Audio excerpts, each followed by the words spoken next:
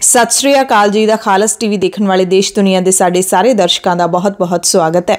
ਪੰਜਾਬ ਦੀਆਂ ਖਾਸ ਖਬਰਾਂ ਦੇ ਖਾਸ ਬੁਲੇਟਿਨ ਦੇ ਨਾਲ ਮੈਂ ਹਰਸ਼ਰਨ ਕੌਰ। ਅੱਜ 8 ਮਈ ਹੈ, ਦਿਨ ਐਤਵਾਰ ਹੈ। ਤੁਹਾਨੂੰ ਅੱਜ ਦੇ ਦਿਨ ਦੀਆਂ ਅਤੇ ਸ਼ਨੀਚਰਵਾਰ ਦੀਆਂ ਸਾਰੀਆਂ ਤਾਜ਼ਾ ਤੇ ਅਹਿਮ ਖਬਰਾਂ ਪੰਜਾਬ ਦੀਆਂ ਦੱਸਦੇ ਹਾਂ।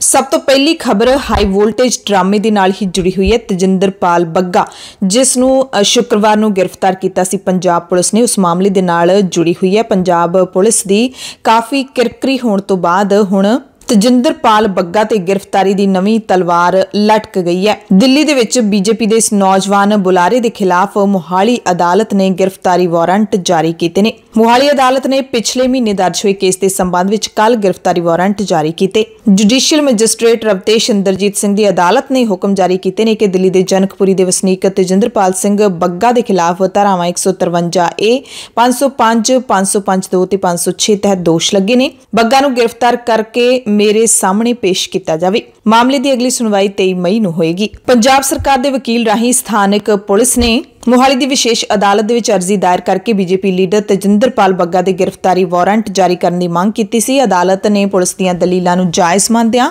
ਬੱਗਾ ਦੀ ਗ੍ਰਿਫਤਾਰੀ ਦੇ ਵਾਰੰਟ ਜਾਰੀ ਕੀਤੇ ਨੇ।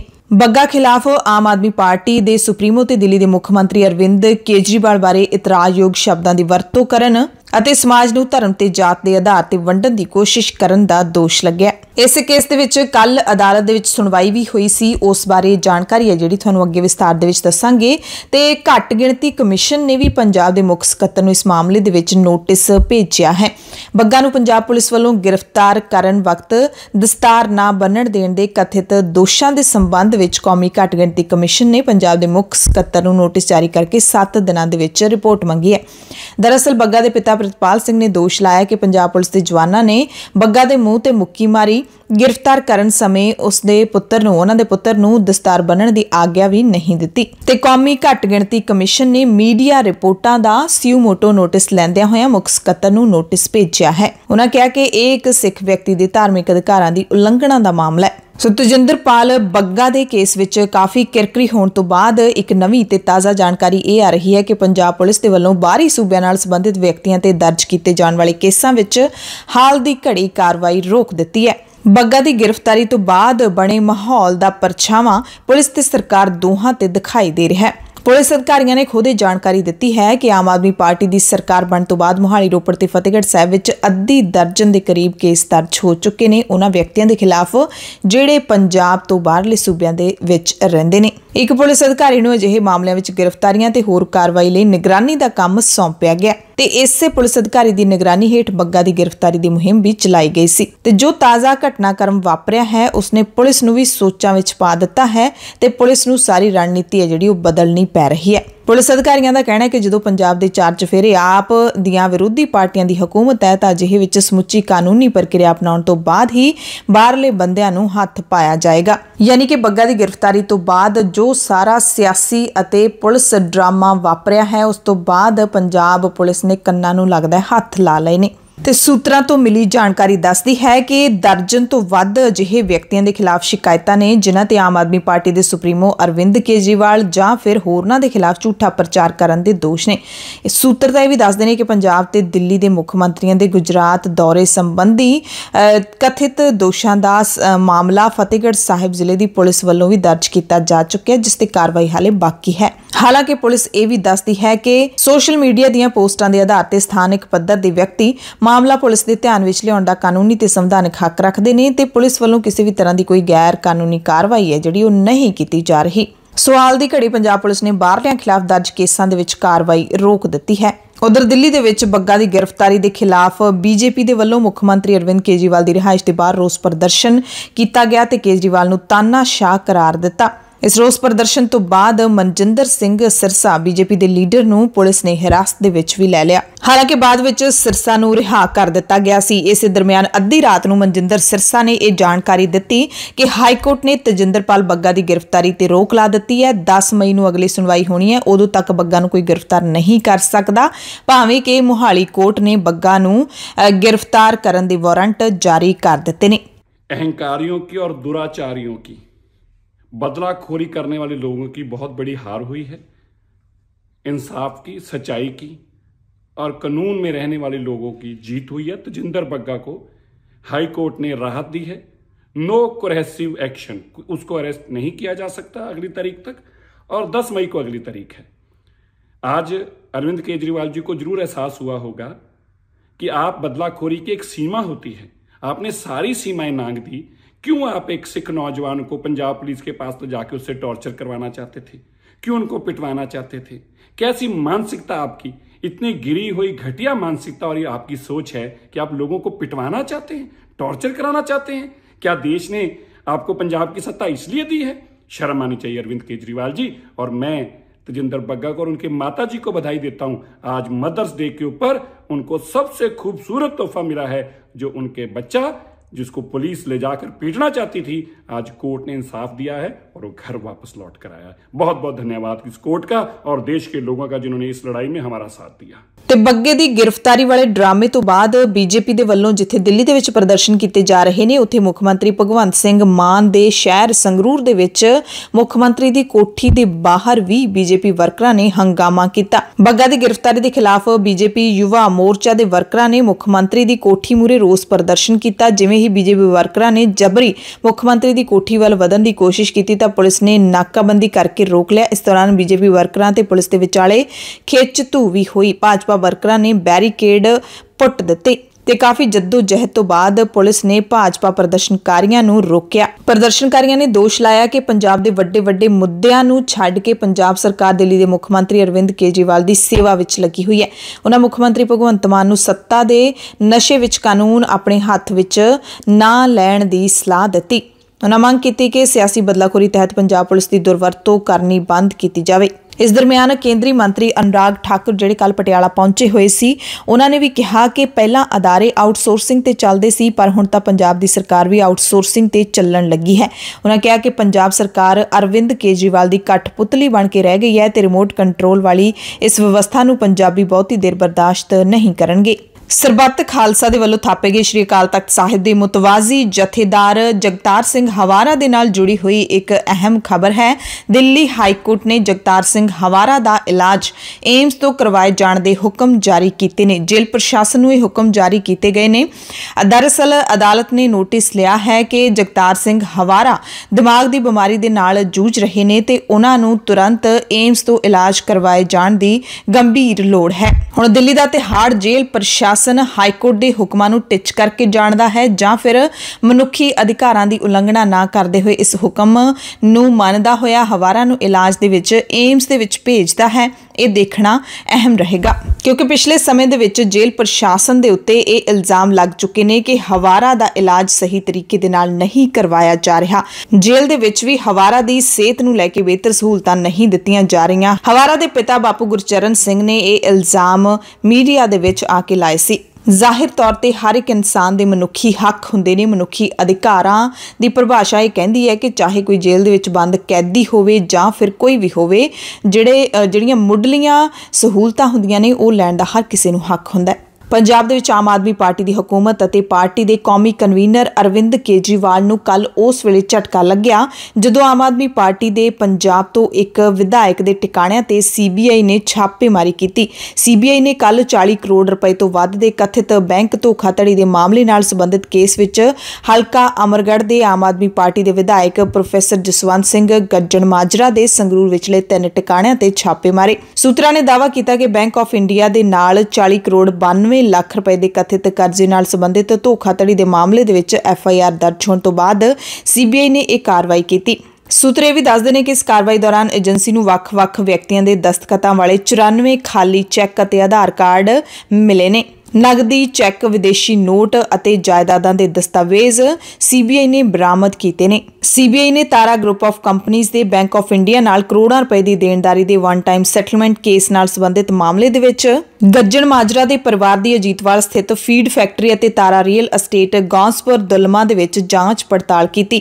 ਹਾਲਾਂਕਿ ਜਾਂਚ ਟੀਮ ਨੇ ਇਸ ਸੰਬੰਧੀ ਕੁਝ ਵੀ ਦੱਸਣ ਤੋਂ ਇਨਕਾਰ ਕੀਤਾ ਹੈ। ਇਹ ਸਭ ਸੂਤਰਾਂ ਦੇ ਹਵਾਲੇ ਦੇ ਨਾਲ ਜਾਣਕਾਰੀ ਮਿਲੀ ਹੈ। ਸੀਬੀਆਈ ਟੀਮ ਨੇ ਲੰਬਾ ਸਮਾਂ ਅਜੀਤਵਾਲ ਫੈਕਟਰੀ, ਉਹਨਾਂ ਦੇ ਘਰ ਅਤੇ ਤਾਰਾ ਸਟੇਟ ਕਲੋਨੀ ਦੇ ਵਿੱਚ ਰਿਕਾਰਡ ਦੀ ਜਾਂਚ ਕੀਤੀ। ਸੀਬੀਆਈ ਦੇ ਬੁਲਾਰੇ ਆਰਸੀ ਜੋਸ਼ੀ ਨੇ ਇੰਨਾ ਕੁ ਜ਼ਰੂਰ ਦੱਸਿਆ ਕਿ ਛਾਪਿਆਂ ਦੀ ਕਾਰਵਾਈ ਦੌਰਾਨ 16 ਲੱਖ 57 ਹਜ਼ਾਰ ਰੁਪਏ ਦੇ ਕਰੀਬ ਨਗਦੀ 88 ਵਿਦੇਸ਼ੀ ਨੋਟ, ਜਾਇਦਾਦ ਦੇ ਕੁਝ ਦਸਤਾਵੇਜ਼, ਕਈ ਬੈਂਕ ਖਾਤੇ ਤੇ ਹੋਰ ਇਤਰਾਜ਼ਯੋਗ ਦਸਤਾਵੇਜ਼ ਬਰਾਮਦ ਹੋਏ ਨੇ। ਹਾਲਾਂਕਿ ਇੰਨਾ ਕੁ ਕੈਸ਼ ਮਿਲਣਾ ਕਿਸੇ ਵੀ ਵੱਡੇ ਵਪਾਰੀ ਦੇ ਘਰੋਂ ਕੋਈ ਬਹੁਤੀ ਵੱਡੀ ਗੱਲ ਨਹੀਂ ਹੈ। ਵਿਦੇਸ਼ੀ ਨੋਟਾਂ ਦੀ ਗਿਣਤੀ 88 ਵੀ ਬਹੁਤੀ ਵੱਡੀ ਗਿਣਤੀ ਨਹੀਂ ਹੈ। ਵੱਡੀ ਗੱਲ ਤਾਂ ਹੈ ਜੇ ਇਹਨਾਂ ਦਸਤਾਵੇਜ਼ਾਂ ਦੇ ਵਿੱਚੋਂ ਕੁਝ ਇਤਰਾਜ਼ਯੋਗ ਹੈ ਜਿਹੜਾ ਉਹ ਮਿਲਿਆ ਹੋਵੇ, ਜਿਹੜਾ ਕਿ ਸੀਬੀਆਈ ਦਾਵਾ ਕਰ ਰਹੀ ਹੈ ਕਿ ਇਤਰਾਜ਼ਯੋਗ ਚੀਜ਼ਾਂ ਮਿਲੀਆਂ ਨੇ। ਸੀਬੀਆਈ ਅਧਿਕਾਰੀਆਂ ਨੇ ਇਹ ਵੀ ਜਾਣਕਾਰੀ ਦਿੱਤੀ ਕਿ ਲੁਧਿਆਣਾ ਸਥਿਤ ਬੈਂਕ ਆਫ ਇੰਡੀਆ ਦੀ ਸ਼ਿਕਾਇਤ ਤੇ ਤਾਰਾ ਕਾਰਪੋਰੇਸ਼ਨ ਲਿਮਟਿਡ, ਜਿਸ ਦਾ ਨਾਮ ਬਦਲ ਕੇ ਮਲੌਦ ਐਗਰੋ ਲਿਮਟਿਡ ਰੱਖਿਆ ਗਿਆ ਗੌਸਪੁਰ ਅਤੇ ਹੋਰਨਾਂ ਖਿਲਾਫ ਕੇਸ ਦਰਜ ਕੀਤਾ ਹੈ। ਵਿਧਾਇਕ ਜਸਵੰਤ ਸਿੰਘ ਗੱਜਣ ਮਾਜਰਾ ਇਸ ਕੰਪਨੀ ਦੇ ਡਾਇਰੈਕਟਰ ਦੇ ਗਰੰਟਰ ਨੇ।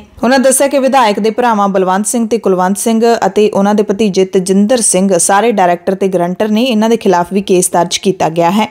ਇਸ ਕੇਸ ਦੇ ਵਿੱਚ ਇੱਕ ਹੋਰ company Tara health foods limited ਨੂੰ ਵੀ ਮੁਲਜ਼ਮ ਵਜੋਂ ਨਾਮਜ਼ਦ ਕੀਤਾ ਗਿਆ ਹੈ। ਇਹ ਵੱਡੀ ਖਬਰ ਸਾਹਮਣੇ ਆਉਣ ਤੋਂ ਬਾਅਦ ਅਮਰਗੜ੍ਹ ਹਲਕੇ ਤੋਂ ਗੱਜਣ ਮਾਜਰਾ ਦੇ ਖਿਲਾਫ ਚੋਣ ਲੜਨ ਵਾਲੇ ਕਾਂਗਰਸ ਦੇ ਉਮੀਦਵਾਰ ਸਮੀਤ ਸਿੰਘ ਮਾਨ ਨੇ ਵੱਡੇ ਸਵਾਲ ਖੜੇ ਕੀਤੇ ਨੇ। ਉਹਨਾਂ ਲਿਖਿਆ ਹੈ ਕਿ ਆਮ ਆਦਮੀ ਅਮਰਗੜ੍ਹ ਤੋਂ ਵਿਧਾਇਕ, ਜਿਹਦੇ ਕੋਲ 500 ਕਰੋੜ ਦੀ ਨਾਨ ਪਰਫਾਰਮਿੰਗ ਸੰਪਤੀ ਹੈ ਅਤੇ 40 ਕਰੋੜ ਦੀ ਧੋਖਾਧੜੀ ਉਸਨੇ ਬੈਂਕ ਨਾਲ ਕੀਤੀ ਹੈ, ਕਿ ਅਰਵਿੰਦ ਕੇਜਰੀਵਾਲ ਤੇ ਭਗਵੰਤ ਮਾਨ ਆਪਣੇ ਹੀ ਭ੍ਰਿਸ਼ਟ ਲੀਡਰਾਂ ਦੇ ਖਿਲਾਫ ਕੋਈ ਕਾਰਵਾਈ ਕਰਨਗੇ? ਤੇ ਅਮਰਗੜ੍ਹ ਹਲਕਾ ਉਹੀ ਹਲਕਾ ਹੈ ਜਿੱਥੋਂ ਸ਼੍ਰੋਮਣੀ ਅਕਾਲੀ ਦਲ ਅੰਮ੍ਰਿਤਸਰ ਦੇ ਪ੍ਰਧਾਨ ਸਿਮਰਨਜੀਤ ਸਿੰਘ ਮਾਨ ਨੇ ਐਤਕੀ ਚੋਣ ਲੜੀ ਸੀ ਤੇ ਹਲਕਾ ਕਾਫੀ ਚਰਚਾ ਦੇ ਵਿੱਚ ਆਇਆ ਸੀ ਹੌਟ ਸੀਟਾਂ ਦੇ ਵਿੱਚ ਆਇਆ ਸੀ ਅਤੇ ਮਾਨ ਨੇ ਐਤਕੀ ਕਾਫੀ ਵੋਟਾਂ ਵੀ ਅ, ਲਈਆਂ ਸੀ ਪਰ ਜਿੱਤ ਗੱਜਣ ਮਾਜਰਾ ਦੀ ਹੋਈ ਸੀ। ਇਸ ਮਸਲੇ ਤੇ ਹਾਲੇ ਤੱਕ ਪੰਜਾਬ ਸਰਕਾਰ ਨੇ ਵੀ ਚੁੱਪੀ ਧਾਰੀ ਹੋਈ ਹੈ ਅਤੇ ਆਪ ਦੇ ਸੁਪਰੀਮੋ ਨੇ ਵੀ ਕੋਈ ਬਿਆਨ ਨਹੀਂ ਦਿੱਤਾ ਜਦਕਿ ਵਿਧਾਇਕ ਗੱਜਣ ਮਾਜਰਾ ਨੇ ਕਿਹਾ ਕਿ ਉਹਨਾਂ ਦਾ ਇਸ ਮਾਮਲੇ ਨਾਲ ਕੋਈ ਸੰਬੰਧ ਨਹੀਂ ਹੈ। ਪਿਛਲੇ ਸਮੇਂ ਲੰਬੇ ਸਮੇਂ ਤੋਂ ਕਹਿੰਦੇ ਤਾਰਾ ਗਰੁੱਪ ਆਫ ਕੰਪਨੀਆਂ ਦੇ ਅਹੁਦੇ ਤੋਂ ਉਹ ਅਸਤੀਫਾ ਦੇ ਚੁੱਕੇ ਨੇ। ਉਹਨਾਂ ਨੇ ਸਿਰਫ ਇੰਨਾ ਹੀ ਕਿਹਾ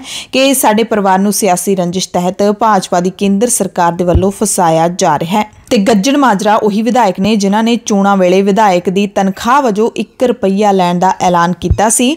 ਉਸ ਤੋਂ ਬਾਅਦ ਸੇਵਾ ਮੁਕਤੀ ਸਮੇਂ ਕੋਈ ਵੀ ਪੈਨਸ਼ਨ ਨਾ ਲੈਣ ਦਾ ਵੀ ਦਾਅਵਾ ਕੀਤਾ ਸੀ ਤੇ ਚੋਣਾਂ ਦੌਰਾਨ ਗੱਜਣ ਮਾਜਰਾ ਦੇ ਵੱਲੋਂ ਦਿੱਤਾ ਗਿਆ ਹਲਫੀਆ ਬਿਆਨ ਸੋਸ਼ਲ ਮੀਡੀਆ ਤੇ ਖੂਬ ਚਰਚਾ ਦਾ ਵਿਸ਼ਾ ਵੀ ਬਣਿਆ ਰਿਹਾ। ਜਦੋਂ ਗੱਜਣ ਮਾਜਰਾ ਵਿਧਾਇਕ ਚੁਣ ਲਏ ਗਏ, ਉਸ ਤੋਂ ਬਾਅਦ ਉਹਨਾਂ ਨੇ ਆਪਣੇ ਇਸ ਵਾਅਦੇ ਨੂੰ ਪੂਰ ਚੜਾਉਣ ਦਾ ਵੀ ਐਲਾਨ ਕੀਤਾ ਸੀ। ਕਿਹਾ ਸੀ ਕਿ ਮੈਂ 1 ਰੁਪਈਆ ਹੀ ਤਨਖਾਹ ਲਵਾਂਗਾ, ਜੋ ਕਿਹਾ ਹੈ ਉਹ ਕਰਾਂਗਾ। ਗੱਜਣ ਮਾਜਰਾ ਦਾ ਸਮਾਜ ਸੇਵਾ ਦੇ ਖੇਤਰ ਵਿੱਚ ਵੀ ਆਪਣੇ ਇਲਾਕੇ ਵਿੱਚ ਵਧੀਆ ਨਾਮ ਹੈ। ਪਟਿਆਲਾ ਤੋਂ ਕਾਂਗਰਸ ਦੇ ਸੰਸਦ ਮੈਂਬਰ ਅਤੇ ਸਾਬਕਾ ਮੁੱਖ ਮੰਤਰੀ ਕੈਪਟਨ ਅਮਰਿੰਦਰ ਸਿੰਘ ਦੀ ਪਤਨੀ ਮਹਾਰਾਣੀ ਪ੍ਰਨੀਤ ਕੌਰ ਨੂੰ ਪਾਰਟੀ ਵਿੱਚੋਂ ਕੱਢਣ ਲਈ ਸਰਗਰਮੀਆਂ ਤੇਜ਼ ਹੋ ਗਈਆਂ ਨੇ। ਪੰਜਾਬ ਕਾਂਗਰਸ ਦੇ ਪ੍ਰਧਾਨ ਅਮਰਿੰਦਰ ਸਿੰਘ ਰਾਜਾ ਵੜਿੰਗ ਨੇ ਜਨਤਕ ਬਿਆਨ ਦਿੱਤਾ ਹੈ। ਠੋਕ ਵਜਾ ਕੇ ਕਿ ਪ੍ਰਨੀਤ ਕੌਰ ਨੂੰ ਨੈਤਿਕ ਆਧਾਰ ਤੇ ਖੁਦ ਹੀ ਲਾਂਬੇ ਹੋ ਜਾਣਾ ਚਾਹੀਦਾ ਹੈ। ਰਾਜਾ ਵੜਿੰਗ ਪਟਿਆਲਾ ਵਿੱਚ ਹੀ ਪਹੁੰਚੇ ਹੋਏ ਸਨ, ਜਿਸ ਦੌਰਾਨ ਵਰਕਰਾਂ ਨੇ ਮਹਾਰਾਣੀ ਪ੍ਰਨੀਤ ਕੌਰ ਬਾਰੇ ਚਰਚਾ ਕੀਤੀ ਤੇ ਫਿਰ ਮੀਡੀਆ ਨੇ ਵੀ ਸਵਾਲ ਪੁੱਛਿਆ। ਕਿ ਚੋਣਾਂ ਵੇਲੇ ਪਾਰਟੀ ਵਿਰੁੱਧ ਕਾਰਵਾਈ ਕਰਨ ਦੇ ਬਾਵਜੂਦ ਮਹਾਰਾਣੀ ਪ੍ਰਨੀਤ ਕੌਰ ਦੇ ਖਿਲਾਫ ਐਕਸ਼ਨ ਕਿਉਂ ਨਹੀਂ ਲਿਆ ਗਿਆ? ਵੜਿੰਗ ਨੇ ਕਿਹਾ ਕਿ ਕਾਂਗਰਸ ਅਨੁਸ਼ਾਸਨ ਪਸੰਦ ਪਾਰਟੀ ਹੈ।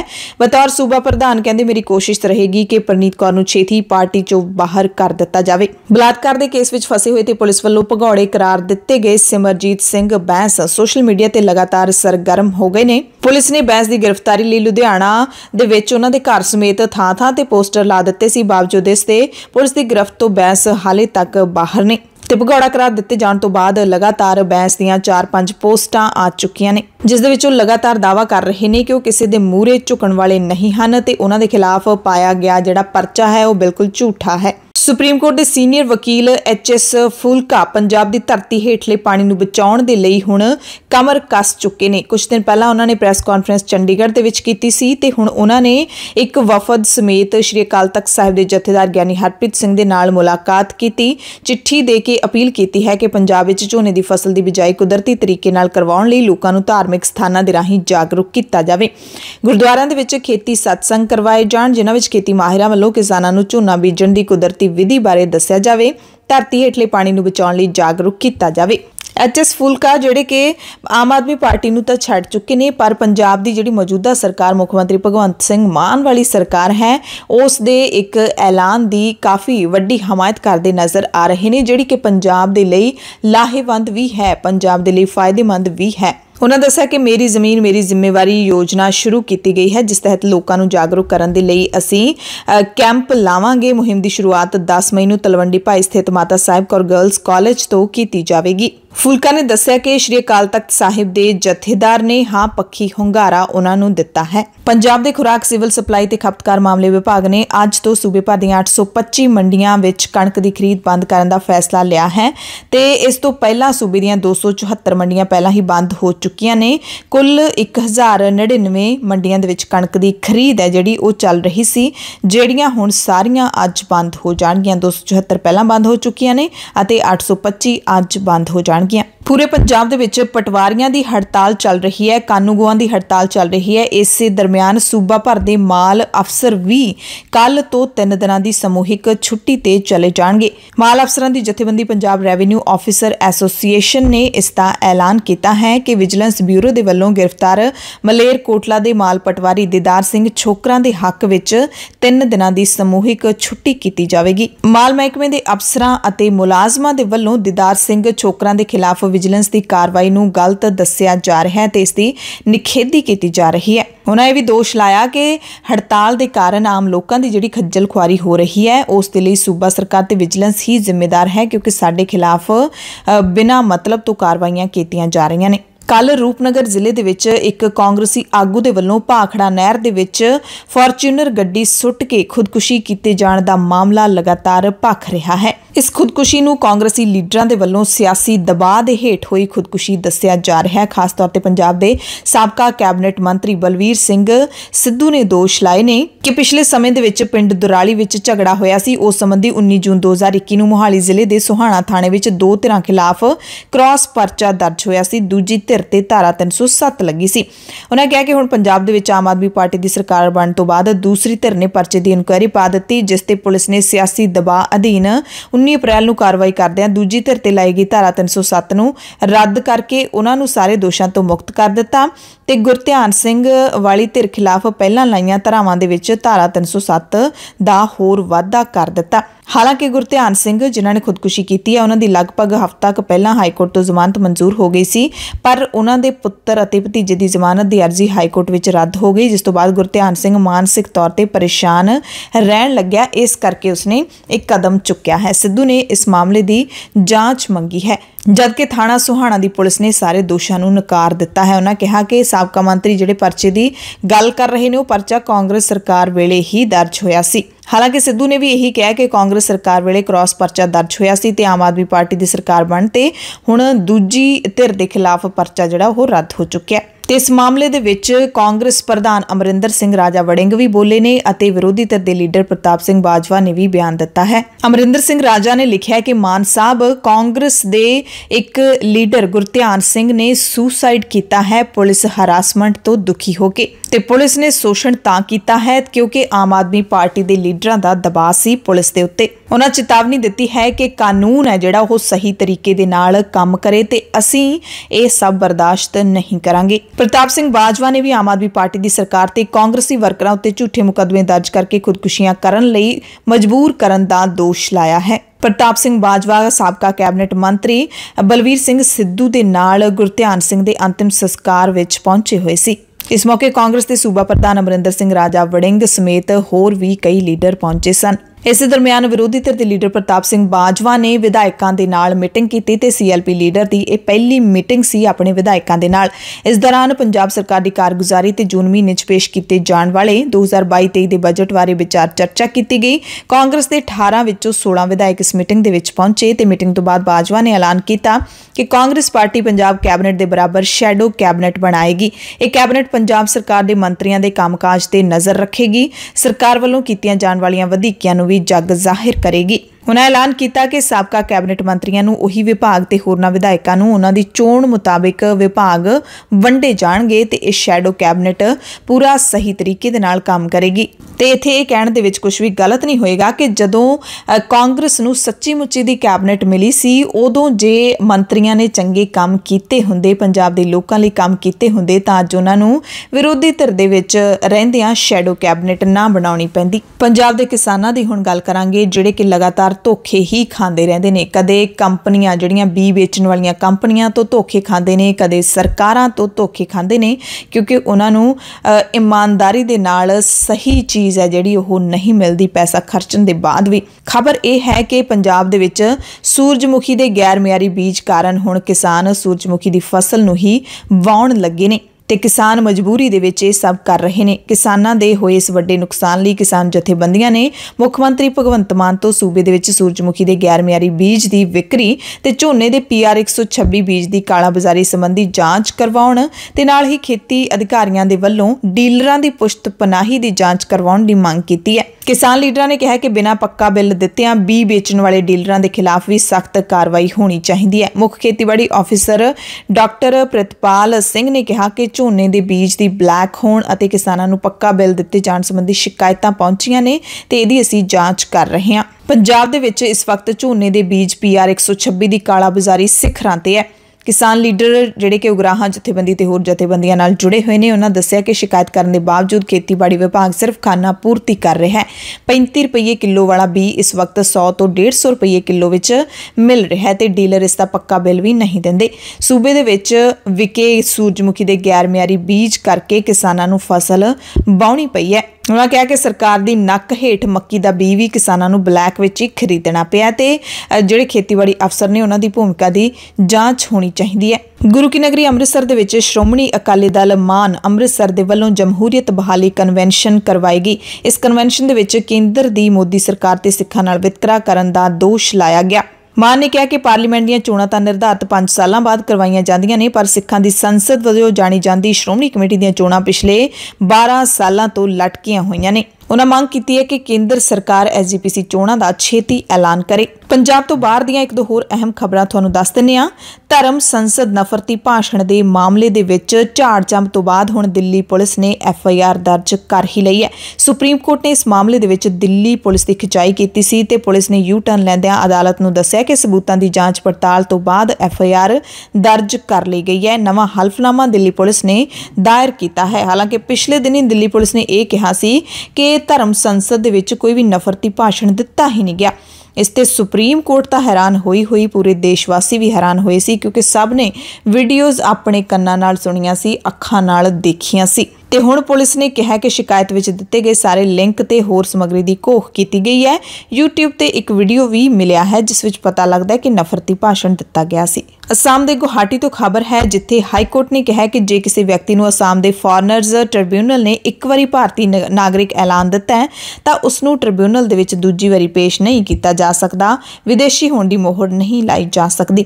ਯਾਨੀ ਕਿ ਭਾਰਤੀ ਐਲਾਨੇ ਗਏ ਵਿਅਕਤੀ ਨੂੰ ਮੁੜ ਵਿਦੇਸ਼ੀ ਨਹੀਂ ਐਲਾਨਿਆ ਜਾ ਸਕਦਾ, ਇਹ ਹਾਈ ਕੋਰਟ ਨੇ ਹੁਕਮ ਦਿੱਤਾ ਹੈ। ਅਦਾਲਤ ਦੇ ਇੱਕ ਬੈਂਚ ਨੇ ਇਹ ਹੁਕਮ ਕਈ ਪਟੀਸ਼ਨਾਂ ਤੇ ਪਾਸ ਕੀਤਾ। ਉਹਨਾਂ ਕਿਹਾ ਕਿ ਇੱਕ ਵਾਰ ਮਾਮਲੇ ਤੇ ਜਦੋਂ ਫੈਸਲਾ ਹੋ ਗਿਆ ਤਾਂ ਉਸ ਨੂੰ ਦੁਬਾਰਾ ਨਹੀਂ ਖੋਲਿਆ ਜਾ ਸਕਦਾ। ਇਸ ਦੇ ਨਾਲ ਹੀ ਅਦਾਲਤ ਨੇ ਹਸੀਨਾ ਭਾਨੂ ਨੂੰ ਤੇਜ਼ਪੁਰ ਜੇਲ੍ਹ ਚੋਂ ਰਿਹਾ ਕਰਨ ਦਾ ਹੁਕਮ ਦਿੱਤਾ ਹੈ। ਤੇਜ਼ਪੁਰ ਨੂੰ 2016 ਦੇ ਵਿੱਚ ਪਹਿਲਾਂ ਭਾਰਤੀ ਤੇ ਮੁੜ 2021 ਦੇ ਵਿੱਚ ਉਸੇ ਟ੍ਰਿਬਿਊਨਲ ਨੇ ਵਿਦੇਸ਼ੀ ਕਰਾਰ ਦਿੱਤਾ ਸੀ। ਪਟੀਸ਼ਨ ਕਰਤਾ ਸੁਪਰੀਮ ਕੋਰਟ ਦੇ ਉਸ ਫੈਸਲੇ ਦਾ ਹਵਾਲਾ ਦੇ ਕੇ ਅਦਾਲਤ ਗਿਆ ਸੀ, ਜੋ ਕਿ ਅਬਦੁਲ ਕੁੱਦੂਸ ਨਾਂ ਦੇ ਵਿਅਕਤੀ ਨਾਲ ਜੁੜਿਆ ਹੋਇਆ ਸੀ। ਵਿਦਿਆਰਥੀਆਂ ਦੇ ਨਾਲ ਜੁੜੀ ਅਹਿਮ ਖਬਰ ਹੈ, ਇਸ ਸਾਲ ਨੀਟ ਪੀਜੀ ਪ੍ਰੀਖਿਆ ਮੁਲਤਵੀ ਨਹੀਂ ਕੀਤੀ ਗਈ ਹੈ ਇਹ ਪ੍ਰੀਖਿਆ 21 ਮਈ ਨੂੰ ਹੀ ਹੋਵੇਗੀ। ਪ੍ਰੈਸ ਇਨਫੋਰਮੇਸ਼ਨ ਬਿਊਰੋ ਨੇ ਕਿਹਾ ਕਿ ਕੌਮੀ ਪ੍ਰੀਖਿਆਵਾਂ ਬੋਰਡ ਦੇ ਨਾਮ ਤੇ ਜਾਰੀ ਜਿਹੜਾ ਨੋਟਿਸ ਹੈ, ਉਹ ਬਿਲਕੁਲ ਫੇਕ ਹੈ, ਝੂਠਾ ਹੈ, ਜਿਹਦੇ ਵਿੱਚ ਕਿਹਾ ਗਿਆ ਸੀ ਕਿ ਪ੍ਰੀਖਿਆ 9 ਜੁਲਾਈ ਨੂੰ ਕਰਵਾਈ ਜਾਏਗੀ, ਪਰ ਨੀਟ ਪੀਜੀ ਦੀ ਪ੍ਰੀਖਿਆ 21 ਮਈ ਨੂੰ ਹੀ ਹੋ ਰਹੀ ਹੈ। National board of examination in medical sciences ਨੇ ਆਪਣੇ ਨਾਮ ਤੇ ਫੈਲਾਈਆਂ ਜਾ ਰਹੀਆਂ ਝੂਠੀਆਂ ਤੇ ਜਾਲੀ ਸੂਚਨਾਵਾਂ ਦੇ ਖਿਲਾਫ ਵਿਦਿਆਰਥੀਆਂ ਨੂੰ ਸੂਚਿਤ ਵੀ ਕੀਤਾ ਹੈ ਕਿ ਇਹਨਾਂ ਜਾਲੀ ਖਬਰਾਂ ਦੇ ਉੱਤੇ ਅਸਰ ਨਾ ਕੀਤਾ ਜਾਵੇ। ਪੰਜਾਬ ਦੀਆਂ ਖਾਸ ਖਬਰਾਂ ਦੇ ਖਾਸ ਬੁਲੇਟਿਨ ਦੇ ਵਿੱਚ ਹੁਣ ਕੁਝ ਤੁਹਾਨੂੰ ਅਹਿਮ ਹੋਰ ਖਬਰਾਂ ਦੱਸ ਦਿੰਦੇ ਹਾਂ। ਕੇਂਦਰ ਸਰਕਾਰ ਨੇ ਲੋਕਾਂ ਦੇ ਮੂੰਹ ਦੀ ਬੁਰਕੀ ਖੋਣੀ ਸ਼ੁਰੂ ਕਰ ਦਿੱਤੀ ਹੈ। ਆਮ ਲੋਕਾਂ ਨੂੰ ਇੱਕ ਵਾਰ ਫਿਰ ਮਹਿੰਗਾਈ ਦਾ ਝਟਕਾ ਦਿੱਤਾ ਹੈ। LPG ਸਿਲੰਡਰ ਦੀ ਕੀਮਤ ਵਿੱਚ 50 ਰੁਪਏ ਦਾ ਵਾਧਾ ਕਰ ਦਿੱਤਾ ਗਿਆ ਯਾਨੀ ਕਿ ਘਰੇਲੂ ਗੈਸ ਸਿਲੰਡਰ ਦੀ ਕੀਮਤ ਵਧਾ ਦਿੱਤੀ ਗਈ ਹੈ। ਪੂਰੇ ਦੇਸ਼ ਦੇ ਵਿੱਚ ਕੀਮਤਾਂ ਲਾਗੂ ਹੋ ਗਈਆਂ ਨੇ। ਹੁਣ ਆਮ ਸਿਲੰਡਰ 1010 ਰੁਪਏ ਦਾ ਮਿਲੇਗਾ, ਜਿਹੜਾ ਪਹਿਲਾਂ 960 ਰੁਪਏ 'ਚ ਮਿਲਦਾ ਸੀ। ਦਿੱਲੀ ਦੇ ਵਿੱਚ ਹੁਣ ਘਰੇਲੂ LPG ਸਿਲੰਡਰ ਦਾ ਭਾਅ 999 ਰੁਪਏ 50 ਪੈਸੇ ਹੋਵੇਗਾ। ਇਸ ਤੋਂ ਪਹਿਲਾਂ ਮਾਰਚ ਮਹੀਨੇ ਵਿੱਚ ਵੀ ਸਿਲੰਡਰ ਦੇ ਭਾਅ ਵਿੱਚ 50 ਰੁਪਏ ਦਾ ਵਾਧਾ ਕੀਤਾ ਗਿਆ ਸੀ। ਹਾਲਾਂਕਿ ਇਸ ਵਾਰ ਕਮਰਸ਼ੀਅਲ ਸਿਲੰਡਰ ਦੇ ਭਾਅ ਵਿੱਚ ਕੋਈ ਵਾਧਾ ਨਹੀਂ ਕੀਤਾ ਗਿਆ। ਪੰਜ ਸੂਬਿਆਂ ਦੀਆਂ ਵਿਧਾਨ ਸਭਾ ਚੋਣਾਂ ਨਿਬੜਨ ਤੋਂ ਬਾਅਦ ਮਹਿੰਗਾਈ ਲਗਾਤਾਰ ਵਧਦੀ ਹੀ ਜਾ ਰਹੀ ਹੈ। ਚੋਣਾਂ ਤੋਂ ਲੈ ਕੇ ਹੁਣ ਤੱਕ, ਯਾਨੀ ਕਿ ਚੋਣ ਨਤੀਜੇ ਆਉਣ ਤੋਂ ਲੈ ਕੇ ਹੁਣ ਤੱਕ ਪੈਟਰੋਲ ਦੇ ਭਾਅ ਵਿੱਚ ਇੱਕ ਦਰਜਨ ਤੋਂ ਵੀ ਵੱਧ ਵਾਰੀ ਵਾਧਾ ਹੋ ਚੁੱਕਿਆ ਹੈ। ਤੇ ਰਸੋਈ ਗੈਸ ਸਿਲੰਡਰ ਵਿੱਚ ਇਹ ਤੀਜਾ ਵੱਡਾ ਵਾਧਾ ਹੈ। ਐਲਪੀਜੀ ਦੀਆਂ ਵਧਾਈਆਂ ਕੀਮਤਾਂ ਦਾ ਕਾਂਗਰਸ ਨੇ ਤਿੱਖਾ ਵਿਰੋਧ ਕੀਤਾ ਹੈ। ਕਾਂਗਰਸ ਨੇ ਮੰਗ ਕੀਤੀ ਹੈ ਕਿ ਕੇਂਦਰ ਸਰਕਾਰ ਨੂੰ ਘਰੇਲੂ ਰਸੋਈ ਗੈਸ ਦੀਆਂ ਕੀਮਤਾਂ ਵਿੱਚ ਕੀਤੇ ਵਾਧੇ ਨੂੰ ਵਾਪਸ ਲੈਣਾ ਚਾਹੀਦਾ ਹੈ। ਸਬਸਿਡੀ ਵਾਲੇ ਰਸੋਈ ਗੈਸ ਸਿਲੰਡਰਾਂ ਦੀ ਕੀਮਤ ਨੂੰ 2014 ਦੇ ਪੱਧਰ ਤੇ ਲਿਆਉਣਾ ਚਾਹੀਦਾ ਹੈ ਦਰਅਸਲ ਮਈ 2014 ਵਿੱਚ ਦਿੱਲੀ ਵਿੱਚ ਸਬਸਿਡੀ ਵਾਲੇ ਗੈਸ ਸਿਲੰਡਰ ਦਾ ਭਾਅ 414 ਰੁਪਏ ਹੁੰਦਾ ਸੀ ਜਿਹੜਾ ਕਿ ਹੁਣ 999 ਰੁਪਏ 50 ਪੈਸੇ ਹੋ ਗਿਆ ਯਾਨੀ ਕਿ 585 ਰੁਪਏ ਤੋਂ ਵੀ ਵੱਧ ਦਾ ਹੁਣ ਤੱਕ ਵਾਧਾ ਹੋ ਚੁੱਕਿਆ ਹੈ ਕਾਂਗਰਸ ਨੇ ਮਹਿੰਗਾਈ ਦੇ ਮੁੱਦੇ ਤੇ ਦਿੱਲੀ ਵਿੱਚ ਪ੍ਰਦਰਸ਼ਨ ਵੀ ਕੀਤਾ जबकि यह आंकड़े स्पष्ट हैं कि जो 23 करोड़ लोगों को यूपीए ने गरीबी रेखा से ऊपर उठाया था, ना केवल वो 23 करोड़ वापस गरीबी रेखा के नीचे चले गए हैं 14 करोड़ उसमें और, जबकि आपको मालूम है कि आपकी नीतियों के चलते आज घर चलाना मुश्किल हो गया है ईएमआई देना मुश्किल हो गया है, यहाँ तक कि सब्ज़ी, तरकारी, तेल खरीदना भी दूभर हो गया है। ਮੁੱਖ ਵਿਰੋਧੀ ਕਾਂਗਰਸ ਪਾਰਟੀ ਨੇ ਦਾਅਵਾ ਕੀਤਾ ਹੈ ਕਿ ਨਰਿੰਦਰ ਮੋਦੀ ਸਰਕਾਰ ਨੇ ਪਿਛਲੇ 8 ਸਾਲਾਂ ਵਿੱਚ ਸਬਸਿਡੀ ਵਾਲੀ ਸੋਈ ਗੈਸ ਦੀਆਂ ਕੀਮਤਾਂ ਵਿੱਚ 585 ਰੁਪਏ ਦਾ ਵਾਧਾ ਕੀਤਾ ਤੇ ਸਬਸਿਡੀ ਵੀ ਖਤਮ ਕਰ ਦਿੱਤੀ ਹੈ। ਪਾਰਟੀ ਦੇ ਮੁੱਖ ਬੁਲਾਰੇ ਰਣਦੀਪ ਸੁਰਜੇਵਾਲਾ ਨੇ ਟਵੀਟ ਕੀਤਾ ਹੈ ਕਿ ਭਾਜਪਾ ਮਾਲਾ ਮਾਲ ਹੈ, ਲੋਕ ਬੇਵਸ ਨੇ ਸਬਸਿਡੀ ਵਾਲੇ ਰਸੋਈ ਗੈਸ ਸਿਲੰਡਰ ਦੀ ਕੀਮਤ ਬੀਜੇਪੀ ਦੇ ਸ਼ਾਸਨ ਵਿੱਚ 2.5 ਗੁਣਾ ਵੱਧ ਗਈ ਹੈ। ਐਲਪੀਜੀ ਹੁਣ ਮੱਧ ਵਰਗ ਤੇ ਗਰੀਬ ਵਰਗ ਦੀ ਪਹੁੰਚ ਤੋਂ ਬਾਹਰ ਹੋ ਗਿਆ ਸ਼ੁੱਕਰਵਾਰ ਨੂੰ ਤਜਿੰਦਰਪਾਲ ਬੱਗਾ ਦੀ ਗ੍ਰਿਫਤਾਰੀ ਤੋਂ ਬਾਅਦ ਜਿਹੜਾ ਹਾਈ ਵੋਲਟੇਜ ਡਰਾ ਡਰਾਮਾ ਹੋਇਆ ਸੀ, ਉਸ ਦੀ ਅਪਡੇਟ ਤੁਹਾਨੂੰ ਦੇ ਦਿੰਨੇ ਆ ਪੰਜਾਬ ਸਰਕਾਰ ਨੇ ਪੰਜਾਬ ਤੇ ਹਰਿਆਣਾ ਹਾਈ ਕੋਰਟ ਵਿੱਚ ਦੋ ਅਰਜ਼ੀਆਂ ਹੁਣ ਦਾਇਰ ਕੀਤੀਆਂ ਨੇ। ਸਰਕਾਰ ਨੇ ਤੇਜਿੰਦਰਪਾਲ ਬੱਗਾ ਦੇ ਗ੍ਰਿਫਤਾਰੀ ਮਾਮਲੇ ਵਿੱਚ ਕੇਂਦਰ ਨੂੰ ਧਿਰ ਬਣਾਉਣ ਦੀ ਮੰਗ ਕੀਤੀ ਹੈ। ਹਾਈ ਕੋਰਟ ਵਿੱਚ ਮਾਮਲੇ ਦੀ ਅਗਲੀ ਸੁਣਵਾਈ ਹੁਣ 10 ਮਈ ਨੂੰ ਹੋਵੇਗੀ। ਹਾਈ ਕੋਰਟ ਵਿੱਚ ਪੰਜਾਬ ਸਰਕਾਰ ਦੇ ਵਕੀਲ ਪੁਨੀਤ ਬਾਲੀ ਨੇ ਕਿਹਾ ਕਿ ਪੰਜਾਬ ਸਰਕਾਰ ਨੇ ਅਦਾਲਤ ਵਿੱਚ ਅਰਜ਼ੀ ਪਾਈ ਹੈ ਕਿ ਦਿੱਲੀ ਵਿੱਚ ਜੋ ਵੀ ਹੋਇਆ, ਉਸ ਦੀ ਸੀਸੀਟੀਵੀ ਫੁਟੇਜ ਸਾਂਭੀ ਜਾਵੇ। ਭਾਰਤ ਸਰਕਾਰ ਦੇ additional solicitor general Satpal Jain ਨੇ ਕਿਹਾ ਕਿ ਪੰਜਾਬ ਸਰਕਾਰ ਨੇ ਜੋ ਅਰਜ਼ੀਆਂ ਦਾਇਰ ਕੀਤੀਆਂ ਨੇ। ਜਦੋਂ ਉਸ ਬਾਰੇ ਕੋਈ ਨੋਟਿਸ ਆਵੇਗਾ ਤਾਂ ਅਸੀਂ ਜਵਾਬ ਦੇ ਦੇਵਾਂਗੇ ਉਹਨਾਂ ਨੇ ਇਹ ਵੀ ਕਿਹਾ ਕਿ ਪੰਜਾਬ ਪੁਲਿਸ ਨੇ ਜੋ ਕਾਰਵਾਈ ਕੀਤੀ ਹੈ, ਉਸ ਬਾਰੇ ਦਿੱਲੀ ਪੁਲਿਸ ਨੂੰ ਕੋਈ ਜਾਣਕਾਰੀ ਨਹੀਂ ਦਿੱਤੀ ਗਈ, ਪਰ ਦਿੱਲੀ ਪੁਲਿਸ ਨੇ ਜੋ ਵੀ ਕਾਰਵਾਈ ਕੀਤੀ, ਉਹ ਅਦਾਲਤ ਦੇ ਹੁਕਮਾਂ ਮੁਤਾਬਿਕ ਕਾਨੂੰਨ ਦੇ ਤਹਿਤ ਕੀਤੀ ਗਈ ਸੀ। ਇਸ ਸੁਣਵਾਈ ਦੇ ਵਿੱਚ ਹਰਿਆਣਾ ਸਰਕਾਰ ਨੇ ਆਪਣੀ ਦਲੀਲ ਦਿੰਦਿਆਂ ਕਿਹਾ ਸੀ ਕਿ ਅਸੀਂ ਕੋਈ ਗਲਤ ਕੰਮ ਨਹੀਂ ਕੀਤਾ। ਕੇਸ ਲੰਬਿਤ ਸੀ, ਕਿਡਨੈਪਿੰਗ ਦਾ ਕੇਸ ਸੀ, ਇਸ ਕਰਕੇ ਅਸੀਂ ਪੰਜਾਬ ਪੁਲਿਸ ਦੀ ਟੀਮ ਨੂੰ ਰੋਕ ਲਿਆ ਸੀ। ਕਿਸੇ ਨੂੰ ਗਲਤ ਤਰੀਕੇ ਨਾਲ ਡਿਟੇਨ ਨਹੀਂ ਕੀਤਾ ਗਿਆ। ਇਹ ਹਰਿਆਣਾ ਪੁਲਿਸ ਨੇ, ਹਰਿਆਣਾ ਸਰਕਾਰ ਨੇ ਆਪਣਾ ਪੱਖ ਰੱਖਿਆ। ਸ਼ੁੱਕਰਵਾਰ ਨੂੰ ਦਿੱਲੀ ਵਾਪਸ ਲਿਜਾਣ ਤੋਂ ਬਾਅਦ ਤਜਿੰਦਰਪਾਲ ਬੱਗਾ ਦਾ ਮੈਡੀਕਲ ਟੈਸਟ ਕਰਵਾਇਆ ਗਿਆ। ਮੈਡੀਕਲ ਸਰਟੀਫਿਕੇਟ ਤੋਂ ਪਤਾ ਲੱਗਿਆ ਕਿ ਉਸ ਦੀ ਪਿੱਠ ਤੇ ਮੋਢੇ ਤੇ ਸੱਟਾਂ ਲੱਗੀਆਂ ਨੇ। ਦਿੱਲੀ ਪੁਲਿਸ ਨੇ ਸ਼ੁੱਕਰਵਾਰ ਦੇਰ ਰਾਤ ਨੂੰ ਤੇਜਿੰਦਰ ਬੱਗਾ ਨੂੰ ਡਿਊਟੀ ਮੈਜਿਸਟ੍ਰੇਟ ਸਾਹਮਣੇ ਪੇਸ਼ ਕੀਤਾ। ਮੈਜਿਸਟ੍ਰੇਟ ਦੇ ਸਾਹਮਣੇ ਬੱਗਾ ਨੇ ਕਿਹਾ ਕਿ ਮੈਂ ਘਰ ਜਾਣਾ ਚਾਹੁੰਦਾ। ਇਸ ਤੇ ਅਦਾਲਤ ਨੇ ਬੱਗਾ ਨੂੰ ਛੱਡਣ ਦੇ ਵੀ ਹੁਕਮ ਦੇ ਦਿੱਤੇ ਤੇ ਨਾਲ ਦਿੱਲੀ ਪੁਲਿਸ ਨੂੰ ਬੱਗਾ ਨੂੰ ਸੁਰੱਖਿਆ ਮੁਹੱਈਆ ਕਰਵਾਉਣ ਦੇ ਹੁਕਮ ਵੀ ਦੇ ਦਿੱਤੇ ਤੇ ਹੁਣ ਬੱਗਾ ਸੋਮਵਾਰ ਨੂੰ ਅਦਾਲਤ ਸਾਹਮਣੇ ਪੇਸ਼ ਹੋ ਕੇ ਬਿਆਨ ਦਰਜ ਕਰਾਏਗਾ। ਬੱਗਾ ਨੇ ਦੋਸ਼ ਲਾਇਆ ਕਿ ਪੰਜਾਬ ਪੁਲਿਸ ਨੇ ਉਸ ਦੀ ਕੁੱਟਮਾਰ ਕੀਤੀ ਤੇ ਇਸ ਦਰਮਿਆਨ ਆਪਣੀ ਸੁਰੱਖਿਆ ਦਾ ਡਰ ਜ਼ਾਹਿਰ ਕੀਤਾ ਤਾਂ ਦਿੱਲੀ ਪੁਲਿਸ ਨੇ ਕਿਹਾ ਕਿ ਪੁਲਿਸ ਬੱਗਾ ਦੀ ਸੁਰੱਖਿਆ ਦਾ ਪ੍ਰਬੰਧ ਕਰੇਗੀ। ਤੇਜਿੰਦਰਪਾਲ ਬੱਗਾ ਨੇ ਏਐਨਆਈ ਦੇ ਨਾਲ ਗੱਲਬਾਤ ਵੀ ਕੀਤੀ ਤੇ ਕਿਹਾ ਕਿ ਪੰਜਾਬ ਪੁਲਿਸ ਦੀ ਗ੍ਰਿਫਤਾਰੀ ਗੈਰ ਕਾਨੂੰਨੀ ਸੀ। ਕਾਨੂੰਨ ਮੁਤਾਬਿਕ ਗ੍ਰਿਫਤਾਰੀ ਤੋਂ ਪਹਿਲਾਂ ਸਥਾਨਕ ਪੁਲਿਸ ਨੂੰ ਦੱਸਣਾ ਹੁੰਦਾ ਹੈ, ਪਰ ਪੰਜਾਬ ਪੁਲਿਸ ਨੇ ਕਹਿੰਦੇ ਮੈਨੂੰ ਕਿਸੇ ਅੱਤਵਾਦੀ ਵਾਂਗੂ ਗ੍ਰਿਫਤਾਰ ਕੀਤਾ। ਬੱਗਾ ਨੇ ਕਿਹਾ ਕਿ ਅਰਵਿੰਦ ਕੇਜਰੀਵਾਲ ਦੇ ਹੁਕਮ ਤੇ ਪੰਜਾਬ ਪੁਲਿਸ ਦੇ ਕਰਮਚਾਰੀਆਂ ਨੇ ਮੇਰੇ ਤੇ ਮੇਰੇ ਪਿਤਾ ਨਾਲ ਕੁੱਟਮਾਰ ਕੀਤੀ। ਬੱਗਾ ਨੇ ਦਿੱਲੀ ਵਾਪਸ ਮੁੜਨ ਤੋਂ ਬਾਅਦ ਕੇਜਰੀਵਾਲ ਨੂੰ ਫੇਰ ਲਲਕਾਰਿਆ। ਕਹਿੰਦੇ, ਮੈਂ ਇਸੇ ਤਰ੍ਹਾਂ ਕੇਜਰੀਵਾਲ ਤੋਂ ਸਵਾਲ ਕਰਦਾ ਰਹੂੰਗਾ। ਅਜਿਹੀਆਂ ਗੱਲਾਂ ਨਾਲ ਮੈਂ ਡਰਨ ਵਾਲਾ ਨਹੀਂ ਹਾਂ। ਇਸ ਦਰਮਿਆਨ ਬੀਜੇਪੀ ਦੇ ਲੀਡਰ ਮਨਜਿੰਦਰ ਸਿੰਘ ਸਿਰਸਾ ਨੇ ਤਜਿੰਦਰਪਾਲ ਬੱਗਾ ਨੂੰ ਗ੍ਰਿਫਤਾਰ ਕਰਨ ਲਈ ਪੰਜਾਬ ਪੁਲਿਸ ਦੇ ਡੀਐਸਪੀ ਕੁਲਜਿੰਦਰ ਸਿੰਘ ਤੇ ਦੋਸ਼ ਲਾਉਂਦਾ ਕਿਹਾ ਕਿ ਡੀਐਸਪੀ ਕੁਲਜਿੰਦਰ ਸਿੰਘ ਦੇ ਅਪਰਾਧੀਆਂ ਤੇ ਨਸ਼ਾ ਤਸਕਰਾਂ ਨਾਲ ਸੰਬੰਧ ਰਹੇ ਨੇ। ਡੀਐਸਪੀ ਨੂੰ ਨਸ਼ਾ ਤਸਕਰੀ ਕਰਨ ਵਾਲਿਆਂ ਦੀ ਸਰਪ੍ਰਸਤੀ ਰਹੀ ਹੈ। ਇਹ ਵੱਡੇ ਦੋਸ਼ ਸਿਰਸਾ ਨੇ ਉਸ ਪੁਲਿਸ ਅਫਸਰ ਤੇ ਲਾਏ ਨੇ, ਜਿਹੜੇ ਬੱਗਾ ਨੂੰ ਗ੍ਰਿਫਤਾਰ ਕਰਨ ਵਾਲੀ ਟੀਮ 'ਚ ਸ਼ਾਮਲ ਸਨ। ਇਧਰ ਪੰਜਾਬ ਦੇ ਵਿੱਚ ਆਮ ਆਦਮੀ ਪਾਰਟੀ ਬੱਗਾ ਦੀ ਗ੍ਰਿਫਤਾਰੀ ਦੇ ਡਰਾਮੇ ਨੂੰ ਲੈ ਕੇ ਕੇਂਦਰ ਸਰਕਾਰ ਤੇ ਖੁੱਲ੍ਹ ਕੇ ਵਰੀ ਹੈ। ਆਪ ਨੇ ਦੋਸ਼ ਲਾਇਆ ਹੈ ਕਿ ਮੁਲਕ ਦੇ ਗ੍ਰਹਿ ਮੰਤਰੀ ਅਮਿਤ ਸ਼ਾਹ ਦੀਆਂ ਹਦਾਇਤਾਂ ਤੇ ਬੱਗਾ ਨੂੰ ਦਿੱਲੀ ਫੜਨ ਗਈ ਪੰਜਾਬ ਪੁਲਿਸ ਨੂੰ ਥਾਣੇ ਵਿੱਚ ਬਿਠਾਇਆ ਗਿਆ। ਪਾਰਟੀ ਦੇ ਮੁੱਖ ਬੁਲਾਰੇ ਮਾਲਵਿੰਦਰ ਸਿੰਘ ਕੰਗ ਨੇ ਕਿਹਾ ਕਿ ਅਪਰਾਧੀ ਬਿਰਤੀ ਵਾਲੇ ਬਦਮਾਸ਼ ਨੂੰ ਬੀਜੇਪੀ ਨੇ ਬਚਾ ਕੇ ਦੇਸ਼ ਵਾਸੀਆਂ ਲਈ ਨਵਾਂ ਸੰਕਟ ਖੜਾ ਕੀਤਾ ਹੈ। ਉਸ ਦੇ ਨਾਮ ਅਪਰਾਧ ਨੇ ਜਿਹੜੇ ਉਹ ਬੋਲਦੇ ਨੇ। ਕੰਗ ਨੇ ਹੈਰਾਨੀ ਪ੍ਰਗਟ ਕੀਤੀ ਕਿ ਕਾਂਗਰਸ ਵੀ ਉਸ ਸ਼ਖਸ ਦੇ ਬਚਾਅ ਚ ਆ ਗਈ ਹੈ, ਜਿਹੜਾ ਕੌਮੀ ਪ੍ਰਧਾਨ ਸੋਨੀਆ ਗਾਂਧੀ ਨੂੰ ਡਾਂਸਰ ਕਹਿ ਕੇ ਭੰਗਦਾ, ਭੰਡਦਾ ਰਿਹਾ। ਆਮ ਆਦਮੀ ਪਾਰਟੀ ਨੇ ਭਾਰਤੀ ਜਨਤਾ ਪਾਰਟੀ ਨੂੰ ਦੇਸ਼ ਦੇ ਸੰਵਿਧਾਨ ਵਿੱਚ ਰਹਿ ਕੇ ਕੰਮ ਕਰਨ ਦੀ ਨਸੀਹਤ ਦਿੰਦਿਆਂ ਭਵਿੱਖ ਵਿੱਚ ਵਿੱਚ ਭਾਰੀ ਵਿਰੋਧ ਦੀ ਚੇਤਾਵਨੀ ਵੀ ਦਿੱਤੀ। ਬਦਮਾਸ਼ ਦੇ ਫੇਵਰ ਚ ਆ ਕੇ ਕਾਂਗਰਸ ਦੇ ਲੀਡਰ।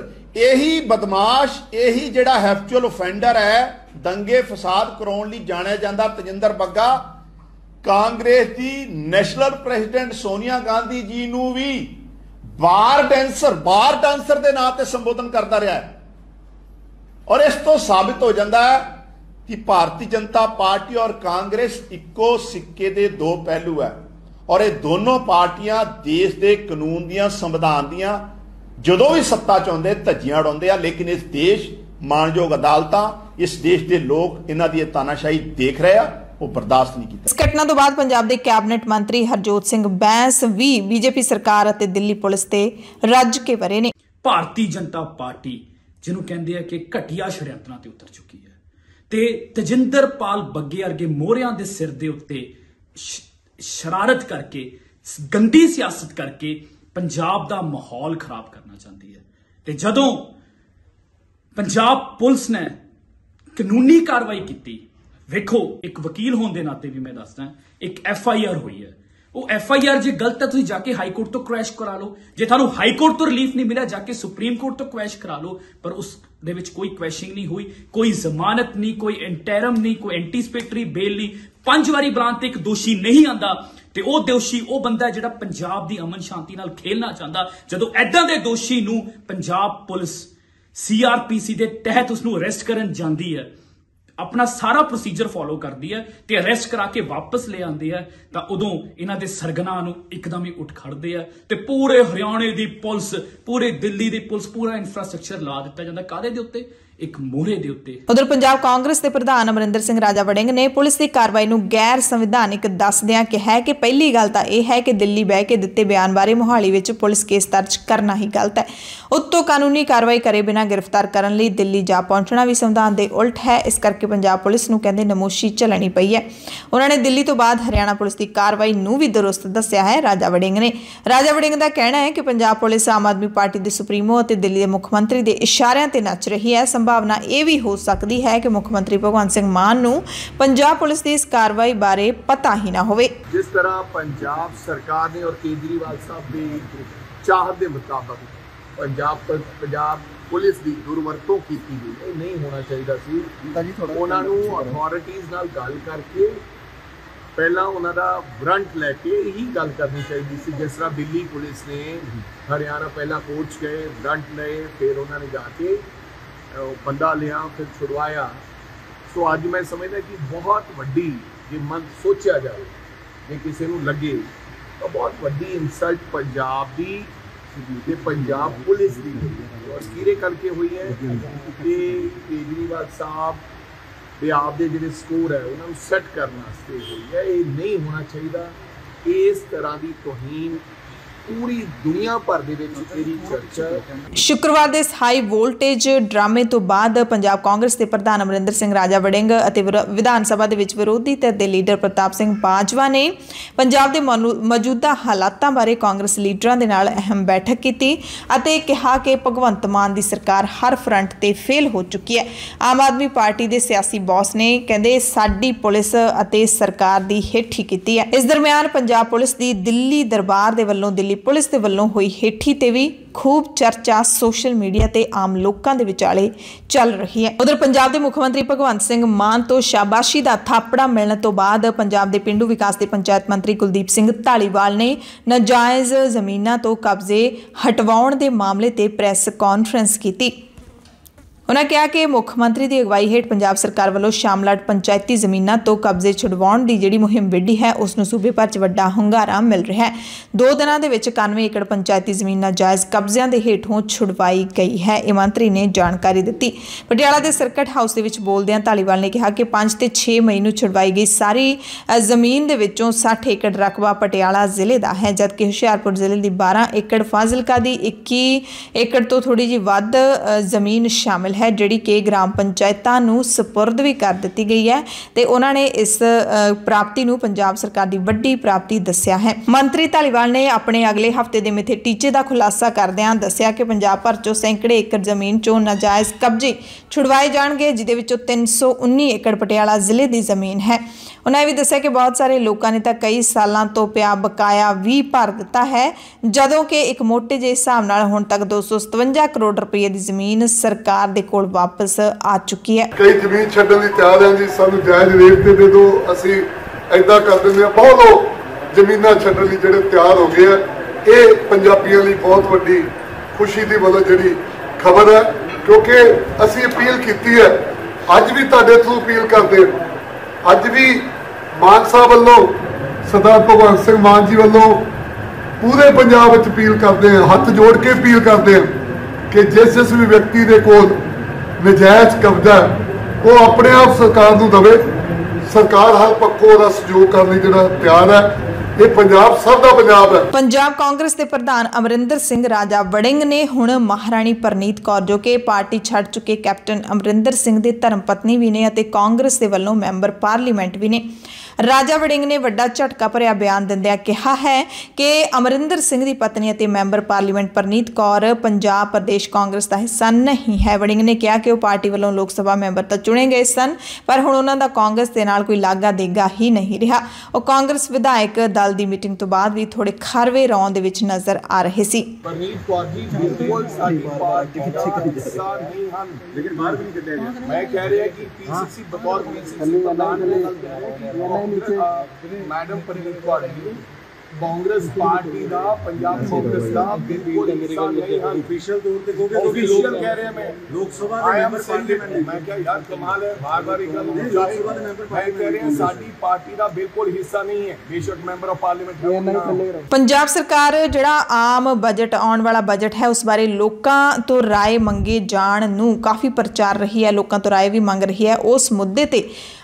ਅਮਰਿੰਦਰ ਸਿੰਘ ਰਾਜਾ ਵੜਿੰਗ ਨੇ ਕਿਹਾ ਕਿ ਬਜਟ ਬਾਰੇ ਲੋਕਾਂ ਦੇ ਵਿਚਾਰ ਜਾਣਨ ਦੇ ਅਖਬਾਰਾਂ ਵਿੱਚ ਛਪ ਰਹੇ ਮਹਿੰਗੇ ਇਸ਼ਤਿਹਾਰ ਨਿਰਾ ਡਰਾਮਾ ਨੇ। ਉਹਨਾਂ ਦਾ ਇਹ ਵੀ ਕਹਿਣਾ ਸੀ ਕਿ ਰਾਜ ਸਭਾ ਦੇ ਪੰਜ ਮੈਂਬਰਾਂ ਦੀ ਚੋਣ ਕਰਨ ਵੇਲੇ ਲੋਕਾਂ ਦੇ ਵਿਚਾਰ ਲੈਣ ਦੀ ਲੋੜ ਸੀ ਪਰ ਉਦੋਂ ਅੱਖੋਂ ਪਰੋਖੇ ਕਰ ਦਿੱਤਾ ਗਿਆ ਜਦੋਂ رائے ਲੈਣੀ ਸੀ ਉਹ ਤਾਂ ਲਈ ਨਹੀਂ ਗਈ ਤੇ ਹੁਣ ਬਜਟ ਲਈ ਇਹ رائے ਮੰਗ ਰਹੇ ਨੇ ਉਹ ਵੀ ਪੂਰੀ ਅ, رائے ਮੰਨਣਗੇ ਬਜਟ ਦੇ ਵਿੱਚ ਜਾਂ ਨਹੀਂ ਇਸ ਬਾਰੇ ਤਾਂ ਸਰਕਾਰ ਨੇ ਕੁਝ ਕਿਹਾ ਹੀ ਨਹੀਂ ਕਾਂਗਰਸ ਵਿਧਾਇਕ ਸੁਖਪਾਲ ਸਿੰਘ ਖਹਿਰਾ ਨੇ ਤਰਨਤਾਰਨ ਦੇ 12ਵੀਂ ਜਮਾਤ ਦੇ ਵਿਦਿਆਰਥੀ ਜਸ਼ਨਦੀਪ ਦੇ ਹੱਕ ਵਿੱਚ ਹਾਂ ਦਾ ਨਾਰਾ ਮਾਰਿਆ ਜਿਸ ਨੂੰ ਪੁਲਿਸ ਨੇ ਅੱਤਵਾਦੀ ਕਹਿ ਕੇ ਗ੍ਰਿਫਤਾਰ ਕਰ ਲਿਆ ਖਹਿਰਾ ਨੇ ਕਿਹਾ ਕਿ ਇਹ ਮਸਲਾ ਹੈ ਜਿਹਦੇ ਵਿੱਚ ਮੁੱਖ ਮੰਤਰੀ ਭਗਵੰਤ ਸਿੰਘ ਮਾਨ ਅਤੇ ਉਹਨਾਂ ਦੀ ਟੀਮ ਨੂੰ ਦਖਲ ਦੇਣਾ ਚਾਹੀਦਾ ਹੈ। ਵਿਦਿਆਰਥੀ ਦੇ ਪੇਪਰ ਚੱਲ ਰਹੇ ਨੇ, ਉਸ ਦੀ ਰਿਹਾਈ ਲਈ ਕੋਸ਼ਿਸ਼ ਕਰਨੀ ਚਾਹੀਦੀ ਹੈ। ਨਾ ਕਿ ਬੱਗਾ ਵਰਗੇ ਲੋਕਾਂ ਤੇ ਸਮਾਂ ਮੁੱਖ ਮੰਤਰੀ ਨੂੰ ਬਰਬਾਦ ਕਰਨਾ ਚਾਹੀਦਾ ਹੈ। ਦਰਅਸਲ ਸ਼ੁੱਕਰਵਾਰ ਨੂੰ ਫਿਰੋਜ਼ਪੁਰ ਪੁਲਿਸ ਨੇ ਮੱਖੂ ਦੇ ਪਿੰਡ ਵਿੰਜੋਕੇ ਦੇ ਵਿੱਚ ਮੁਲਜ਼ਮਾਂ ਦੇ ਘਰੇ ਛਾਪਾ ਮਾਰ ਕੇ ਪਰਿਵਾਰਕ ਮੈਂਬਰਾਂ ਤੋਂ ਪੁੱਛਗਿੱਛ ਕੀਤੇ ਜਾਣ ਤੋਂ ਬਾਅਦ ਦਾਅਵਾ ਕੀਤਾ ਹੈ ਕਿ ਦੋ ਉਹਨਾਂ ਦੇ ਹੋਰ ਸਾਥੀ ਨੇ ਜਿਹੜੇ ਉਹਨਾਂ ਨੂੰ ਗ੍ਰਿਫਤਾਰ ਕੀਤਾ ਗਿਆ ਹੈ। ਪਿਛਲੇ ਦਿਨੀ ਪੰਜਾਬ ਦੇ ਚਾਰ ਨੌਜਵਾਨਾਂ ਨੂੰ ਕਰਨਾਲ ਤੋਂ ਗ੍ਰਿਫਤਾਰ ਕੀਤਾ ਗਿਆ ਸੀ, ਜਿਨ੍ਹਾਂ ਨੂੰ ਸ਼ੱਕੀ ਅੱਤਵਾਦੀ ਦੱਸਿਆ ਗਿਆ। ਉਹਨਾਂ ਤੋਂ ਧਮਾਕਾ ਖੇਜ਼ ਸਮੱਗਰੀ ਮਿਲਣ ਦਾ ਦਾਅਵਾ ਵੀ ਪੁਲਿਸ ਨੇ ਕੀਤਾ ਹੈ ਤੇ ਉਹਨਾਂ ਚਾਰਾਂ ਦੇ ਸਾਥੀ ਦੱਸ ਕੇ ਇਹਨਾਂ ਦੋ ਅ, ਅੱਲੜ ਉਮਰ ਦੇ ਮੁੰਡਿਆਂ ਨੂੰ ਗ੍ਰਿਫਤਾਰ ਕੀਤਾ ਗਿਆ ਹੈ। ਐਸਐਸਪੀ ਚਰਨਜੀਤ ਸਿੰਘ ਨੇ ਦੱਸਿਆ ਕਿ ਪੁਲਿਸ ਨੂੰ ਪਤਾ ਲੱਗਿਆ ਕਿ ਇਹਨਾਂ ਮੁਲਜ਼ਮਾਂ ਦੇ ਦੋ ਹੋਰ ਸਾਥੀ ਆਕਾਸ਼ਦੀਪ ਤੇ ਜਸ਼ਨਪ੍ਰੀਤ ਨੇ ਵੀ ਉਹਨਾਂ ਨਾਲ ਮਿਲ ਕੇ ਡਰੋਨ ਰਾਹੀਂ ਪਾਕਿਸਤਾਨ ਤੋਂ ਧਮਾਕਾ ਖੇਜ਼ ਸਮੱਗਰੀ ਤੇ ਹਥਿਆਰਾਂ ਦੀ ਖੇਪ ਹਾਸਲ ਕੀਤੀ ਤੇ ਇਸ ਨੂੰ ਭਾਰਤ ਵਿੱਚ ਵੱਖ-ਵੱਖ ਥਾਵਾਂ ਤੇ ਪਹੁੰਚਾਇਆ।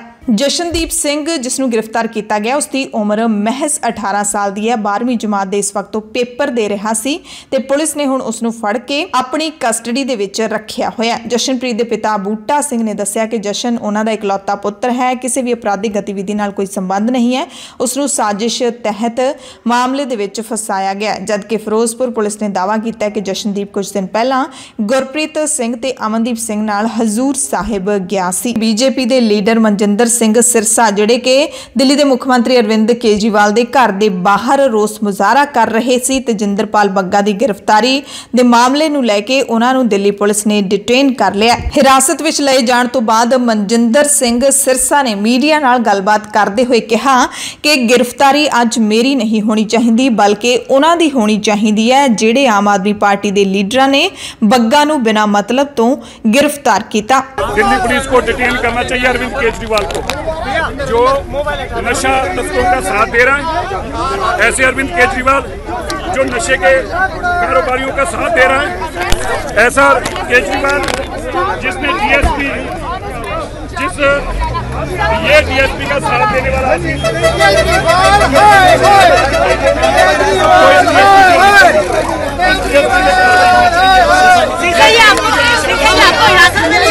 ਪੰਜਾਬ ਦੇ ਵਿੱਚ ਲਗਾਤਾਰ 3 ਦਿਨਾਂ ਤੋਂ ਪਟਵਾਰੀਆਂ ਤੇ ਕਾਨੂੰਗੋਆਂ ਦੀ ਹੜਤਾਲ ਚੱਲ ਰਹੀ ਹੈ। ਵਿਜੀਲੈਂਸ ਦੇ ਵੱਲੋਂ ਕੀਤੀ ਗਈ ਪਟਵਾਰੀ ਦੇ ਖਿਲਾਫ ਇੱਕ ਕਾਰਵਾਈ ਦੇ ਵਿਰੁੱਧ ਤੇ ਇਸ ਹੜਤਾਲ ਦੇ ਖਿਲਾਫ ਹੁਣ ਪੰਜਾਬ ਦੇ ਬੇਰੁਜ਼ਗਾਰ ਨੌਜਵਾਨਾਂ ਦਾ ਖੂਨ ਖੋਲਣ ਲੱਗਿਆ ਨੌਜਵਾਨ ਹੜਤਾਲੀ ਪਟਵਾਰੀਆਂ ਨੂੰ ਘਰੀ ਤੋਰ ਕੇ ਬੇਰੁਜ਼ਗਾਰਾਂ ਨੂੰ ਨੌਕਰੀ ਦੇਣ ਦੀ ਮੰਗ ਕਰਨ ਲੱਗੇ ਨੇ। ਸਬ ਤਹਿਸੀਲ ਧਨੌਲਾ ਤੋਂ ਇੱਕ ਅਜਿਹੇ ਨੌਜਵਾਨ ਤੇ ਸਮਾਜਿਕ ਕਾਰਕੁਨ ਭਾਣਾ ਸਿੱਧੂ ਦੀ ਵੀਡੀਓ ਸਾਹਮਣੇ ਆਈ ਹੈ, ਜਿਹੜਾ ਪੰਜਾਬ ਸਰਕਾਰ ਨੂੰ ਮਹਿੰਗੇ ਪਟਵਾਰੀਆਂ ਨੂੰ ਹਟਾ ਕੇ ਸਸਤੇ ਬੇਰੁਜ਼ਗਾਰਾਂ ਨੂੰ ਨੌਕਰੀ ਦੇਣ ਦਾ ਹੋਕਾ ਦੇ ਰਿਹਾ ਹੈ। ਨੌਜਵਾਨ ਦਾ ਕਹਿਣਾ ਹੈ ਕਿ ਇੰਨੇ ਇੰਨੇ ਮਹਿੰਗੀਆਂ ਤਨਖਾਹਾਂ ਤੇ ਪਟਵਾਰੀ ਲਾ ਰੱਖੇ ਨੇ। ਉਹਨਾਂ ਦਾ 70 70 ਤਨਖਾਹ ਲੈ ਕੇ ਵੀ ਢਿੱਡ ਨਹੀਂ ਭਰਦਾ ਤੇ ਲੱਖਾਂ ਦੇ ਵਿੱਚ ਉਤਲੀ ਕਮਾਈ ਕਰਦੇ ਨੇ। ਇੰਨਾ ਕੁਝ ਹੜੱਪਣ ਦੇ ਬਾਵਜੂਦ ਵੀ ਇਹ ਹੜਤਾਲਾਂ ਕਰਕੇ ਬਹਿ ਜਾਂਦੇ ਨੇ ਤੇ ਆਮ ਲੋਕਾਂ ਨੂੰ ਸਭ ਤੋਂ ਵੱਧ ਮੁਸ਼ਕਿਲ ਆਉਂਦੀ ਹੈ। ਤਾਂ ਫਿਰ ਇਹਨਾਂ ਨੂੰ ਰੱਖ ਕੇ ਕਰਨਾ ਕੀ ਹੈ? ਤੁਹਾਡੇ ਸਾਹਮਣੇ ਨੌਜਵਾਨ ਆਪਣੇ ਆਪ ਨੂੰ ਪੇਸ਼ ਕਰ ਰਹੇ ਨੇ। ਉਹਨਾਂ ਨੂੰ ਘੱਟ ਤਨਖਾਹਾਂ ਤੇ ਰੱਖੋ, ਰੁਜ਼ਗਾਰ ਦਿਓ, ਇਹਨਾਂ ਨੂੰ ਫਾਰਗ ਕਰੋ। ਨੌਜਵਾਨ ਨੇ ਪੰਜਾਬ ਸਰਕਾਰ ਦੇ ਵੱਲੋਂ ਪਟਵਾਰੀ ਦੀਦਾਰ ਸਿੰਘ ਨੂੰ ਰਿਸ਼ਵਤ ਦੇ ਕੇਸ ਵਿੱਚ ਅੰਦਰ ਕਰਨ ਦੀ ਹਮਾਇਤ ਵੀ ਕੀਤੀ। ਤੇ ਬੜੀ ਦਿਲਚਸਪ ਗੱਲ ਇਹ ਹੈ ਕਿ ਨੌਜਵਾਨ ਨੇ ਇਹ ਵੀਡੀਓ ਸਬ ਤਹਿਸੀਲ ਧਨੌਲਾ ਵਿਖੇ ਧਰਨੇ ਤੇ ਬੈਠੇ ਪਟਵਾਰੀਆਂ ਦੇ ਐਨ ਸਾਹਮਣੇ ਖੜ ਕੇ ਬਣਾਈ ਹੈ। ਭਾਨਾ ਸਿੱਧੂ ਦਾ ਕਹਿਣਾ ਹੈ ਕਿ ਜੋ ਦੀਦਾਰ ਸਿੰਘ ਦੇ ਘਰੋਂ 33 ਰਜਿਸਟਰੀਆਂ ਕਰੋੜਾਂ ਰੁਪਏ ਦਾ ਰਿਕਾਰਡ ਲੱਖਾਂ ਦੇ ਗਹਿਣੇ ਤੇ ਬੈਂਕ ਲੋਕਰ ਦੀਆਂ ਚਾਬੀਆਂ ਹੱਥ ਆ ਚੁੱਕੀਆਂ ਨੇ ਤਾਂ ਪਟਵਾਰ ਯੂਨੀਅਨ ਦੀ ਹੜਤਾਲ ਕਰਨ ਦੀ ਕੋਈ ਤੁਕ ਨਹੀਂ ਬਣਦੀ। ਨੌਜਵਾਨ ਨੇ ਇਹ ਵੀ ਸਪਸ਼ਟ ਕੀਤਾ ਕਿ ਉਹ ਨਵੀਂ ਸਰਕਾਰ ਦੇ ਸਾਰੇ ਫੈਸਲਿਆਂ ਦੇ ਨਾਲ ਅਸਹਿਮਤ ਹੋ ਕੇ ਵੀ ਭ੍ਰਿਸ਼ਟਾਚਾਰ ਦੇ ਵਿਰੁੱਧ ਸ਼ੁਰੂ ਕੀਤੀ ਮੁਹਿੰਮ ਦੇ ਹੱਕ ਵਿੱਚ ਡਟ ਕੇ ਖੜਾ ਹੈ। ਉਸਨੇ ਮੁੱਖ ਮੰਤਰੀ ਭਗਵੰਤ ਮਾਨ ਨੂੰ ਨੌਜਵਾਨ ਵਰਗ ਦੇ ਵੱਲੋਂ ਹੜਤਾਲੀ ਪਟਵਾਰੀਆਂ ਨੂੰ ਘਰੋਂ ਘਰੀ ਤੋਰ ਕੇ ਪੜ੍ਹੇ ਲਿਖੇ ਬੇਰੁਜ਼ਗਾਰਾਂ ਦੇ ਹੱਥ ਫਰਦਾਂ ਫੜਾਉਣ ਦੀ ਅਪੀਲ ਕੀਤੀ ਹੈ। ਜੇ ਕੋਈ ਸਰਕਾਰ, ਕੋਈ ਚੰਗਾ ਬੰਦਾ ਕੋਈ ਕੰਮ ਕਰ ਰਿਹਾ ਹੈ, ਤਾਂ ਅਸੀਂ ਉਹਦਾ ਸਾਥ ਕਿਉਂ ਨਹੀਂ ਦੇ ਰਹੇ ਲੋਕ? ਜੇ ਕੋਈ ਸਰਕਾਰ ਚਾਹੁੰਦੀ ਹੈ ਕਿ ਅਸੀਂ ਕਰਪਸ਼ਨ ਖਤਮ ਕਰੀਏ, ਇਹ ਪਟਵਾਰੀ ਜਿਹੜੇ ਧਰਨੇ ਲਾ ਕੇ ਬੈਠੇ ਨੇ ਕਿ ਇਹਨਾਂ ਨੂੰ ਪੁੱਛਣਾ ਚਾਹੁੰਦੇ ਆ ਵੀ ਸਭ ਤੋਂ ਪਹਿਲਾਂ ਤਾਂ ਮੈਂ ਗਵਰਨਮੈਂਟ ਨੂੰ ਗੱਲ ਕਰਨਾ ਚਾਹੁੰਦਾ, ਇਹਨਾਂ ਨੂੰ ਕੱਲੇ ਕੱਲੇ ਨੂੰ ਘਰੇ ਭੇਜੋ। ਅਸੀਂ ਜਿਹੜੀਆਂ ਚੰਗੀ ਪੜ੍ਹਾਈ ਕਰੇ ਹੋਏ ਨੌਜਵਾਨ ਆ ਸਾਰੇ ਨੌਜਵਾਨ ਇੱਥੇ ਫਿਰਦੇ ਨੇਗੇ। ਅਸੀਂ 20 20 30 ਹਜ਼ਾਰ ਤੇ ਨੌਕਰੀ ਕਰਨ ਨੂੰ ਤਿਆਰ ਹਾਂ। 70 70 ਹਜ਼ਾਰ ਰੁਪਏ ਤਨਖਾਹ ਦਿੰਦੇ ਨੇਗੇ।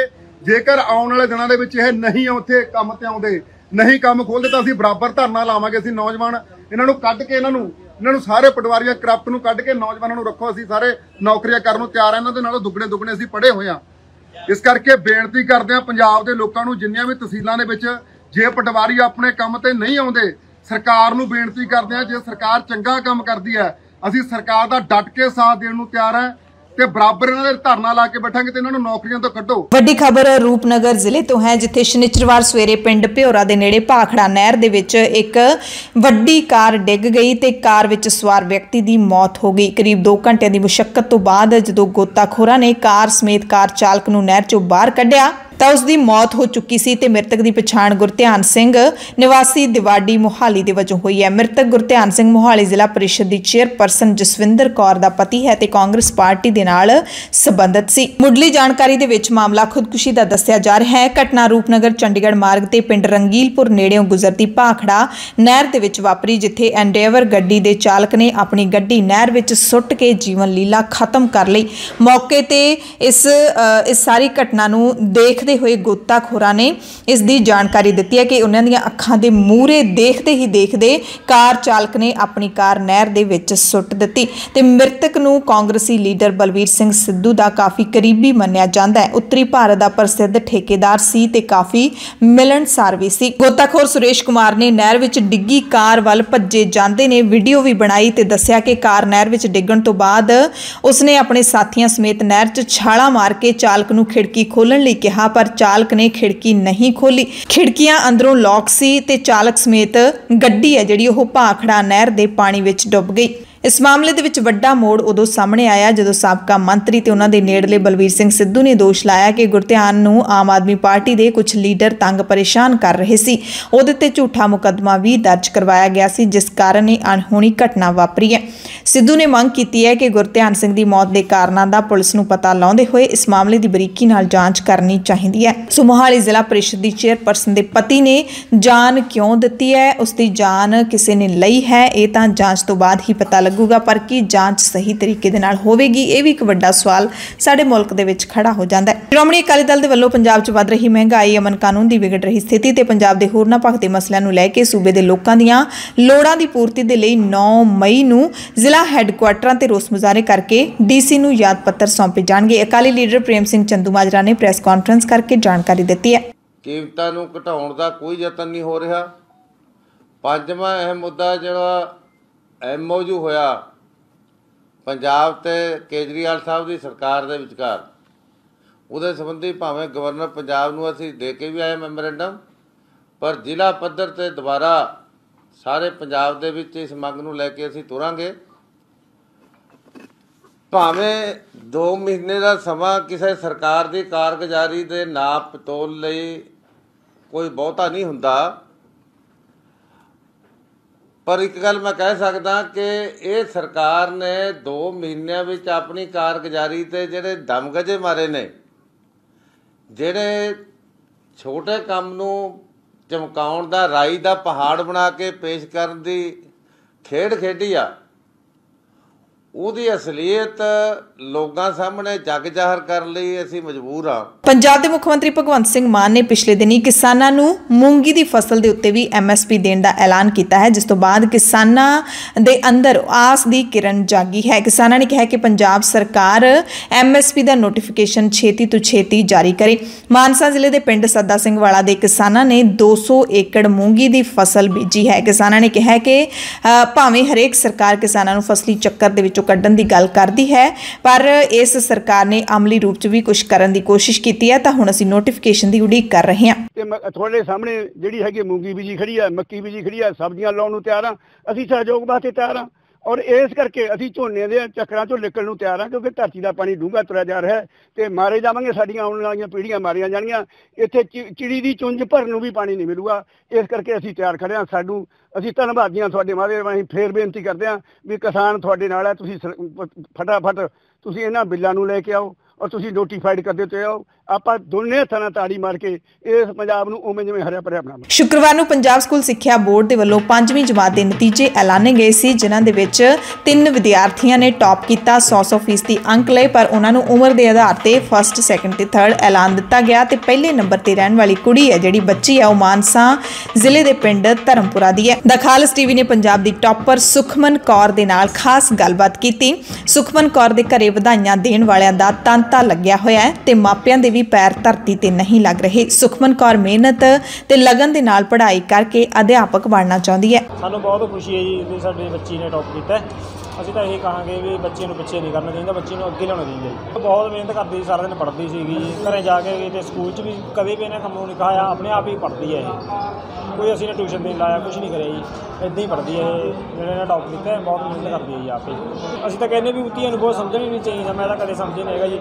ਅਸੀਂ ਤਾਂ ਵਧੀਆ ਤੋਂ ਵਧੀਆ ਸਕੂਲ 'ਚ ਲਾਇਆ ਵੀ ਵਧੀਆ ਪੜ੍ਹਾਈਏ ਇਹਨੂੰ ਅੱਗੇ ਲੈ ਕੇ ਜਾਈਏ ਤੇ ਮੈਨੂੰ ਬਹੁਤ ਖੁਸ਼ੀ ਹੈ ਕਿ ਅੱਜ ਮੇਰੀ ਮਿਹਨਤ ਦੇ ਨਾਲ ਨਾਲ ਮੇਰੇ ਮਾਪਿਆਂ ਅਤੇ ਅਧਿਆਪਕਾਂ ਦੀ ਮਿਹਨਤ ਦਾ ਮੁੱਲ ਪੈ ਗਿਆ ਹੈ। ਮੈਂ ਪੂਰੇ ਪੰਜਾਬ ਵਿੱਚ ਟਾਪ ਕੀਤਾ ਹੈ। ਮੈਂ ਸਾਰੇ ਅਧਿਆਪਕਾਂ ਦਾ ਧੰਨਵਾਦ ਕਰਦੀ ਹਾਂ, ਜਿਨ੍ਹਾਂ ਨੇ ਸਾਨੂੰ ਸਾਰਿਆਂ ਨੂੰ ਲਗਨ ਤੇ ਮਿਹਨਤ ਨਾਲ ਪੜ੍ਹਾਇਆ ਮੈਂ ਸਾਰਿਆਂ ਨੂੰ ਕਹਿਣਾ ਚਾਹੁੰਦੀ ਹਾਂ ਕਿ ਜੇ ਅਸੀਂ ਕੁਝ ਵੀ ਸੋਚ ਕੇ ਮਿਹਨਤ ਕਰਦੇ ਹਾਂ, ਤਾਂ ਸਾਨੂੰ ਕਾਮਯਾਬੀ ਜ਼ਰੂਰ ਮਿਲਦੀ ਹੈ। ਮੈਂ ਇਸੇ ਤਰ੍ਹਾਂ ਮਿਹਨਤ ਕਰਦੀ ਰਹਾਂਗੀ ਤੇ ਆਪਣੇ ਮਾਪਿਆਂ ਅਤੇ ਸਕੂਲ ਦਾ ਨਾਂ ਰੌਸ਼ਨ ਕਰਦੀ ਰਹਾਂਗੀ। ਔਖਾ ਕੰਮ ਨਾ ਕੋਈ ਅੰਦਰ ਜਹਾਨ ਅੰਦਰ ਕਰਨਾ ਸਦਾ ਆਰੰਭ। ਔਖਾ ਹੋਵੇ ਹੌਸਲਾ ਤਾਂ ਚੁੱਕ ਪਹਾੜ ਲਈ ਬਿਨਾ ਹੌਸਲੇ ਚੁੱਕਣਾ ਖੰਭ। ਔਖਾ ਧੰਨਵਾਦ। ਵਿੱਤੀ ਬੋਝ ਦੇ ਥੱਲੇ ਦੱਬੀ ਪੰਜਾਬੀ ਯੂਨੀਵਰਸਿਟੀ ਪਟਿਆਲਾ ਨੂੰ ਵਿੱਤੀ ਸਾਲ 2022-23 ਦੌਰਾਨ ਪਹਿਲੀ ਤਿਮਾਹੀ ਦੀ ਸੈਲਰੀ ਗ੍ਰਾਂਟ ਜਾਰੀ ਕਰ ਦਿੱਤੀ ਗਈ ਹੈ। ਇਹ ਗ੍ਰਾਂਟ 4 ਕਰੋੜ 12 ਲੱਖ 96350 ਰੁਪਏ ਦੀ ਜਾਰੀ ਕੀਤੀ ਗਈ ਹੈ। ਡਾਇਰੈਕਟਰ ਸਿੱਖਿਆ ਵਿਭਾਗ ਪੰਜਾਬ ਨੇ ਚਿੱਠੀ ਜਾਰੀ ਕਰ ਦਿੱਤੀ ਹੈ। ਪੀਜੀਆਈ ਚੰਡੀਗੜ੍ਹ ਨੂੰ ਨਵਾਂ ਡਾਇਰੈਕਟਰ ਮਿਲ ਗਿਆ। ਕੇਂਦਰ ਸਰਕਾਰ ਵੱਲੋਂ ਜਾਰੀ ਕੀਤੇ ਗਏ ਪੱਤਰ ਦੇ ਮੁਤਾਬਿਕ ਨਿਊਰੋਲੋਜੀ ਵਿਭਾਗ ਦੇ ਡਾਕਟਰ ਵਿਵੇਕ ਲਾਲ ਨੂੰ ਨਵਾਂ ਡਾਇਰੈਕਟਰ ਨਿਯੁਕਤ ਕੀਤਾ ਗਿਆ। ਖਬਰਾਂ ਦੇ ਇਸ ਖਾਸ ਬੁਲੇਟਿਨ ਦੇ ਵਿੱਚ ਤੁਹਾਡੇ ਸਭ ਤੋਂ ਇਜਾਜ਼ਤ ਚਾਹੁੰਦੇ ਹਾਂ। ਧੰਨਵਾਦ।